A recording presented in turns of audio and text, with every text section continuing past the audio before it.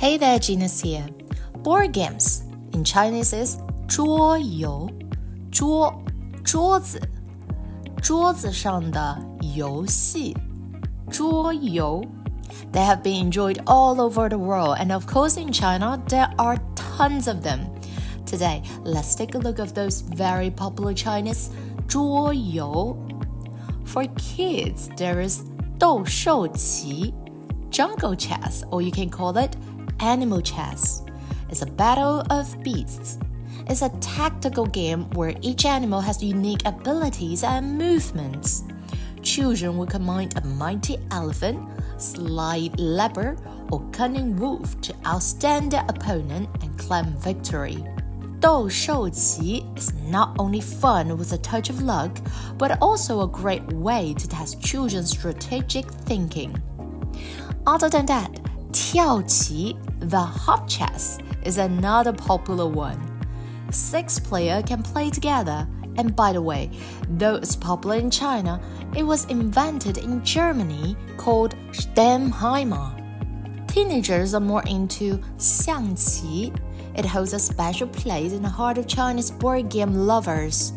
This game shares similarities with international chess, but comes with unique pieces and rules. It can help players cultivate excellent judgment, anticipation, and tactical thinking. If you want to emphasize overall layout and long term planning, Go Chess, Wei Qi is your better choice. Wei means surround and recircle. It's one of the oldest board games in the world with a history spanning over 2,500 years.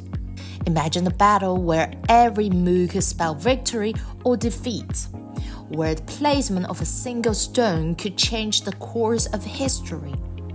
Wei Qi is not just a game, it's a clash of minds, a dance of strategy and cunning.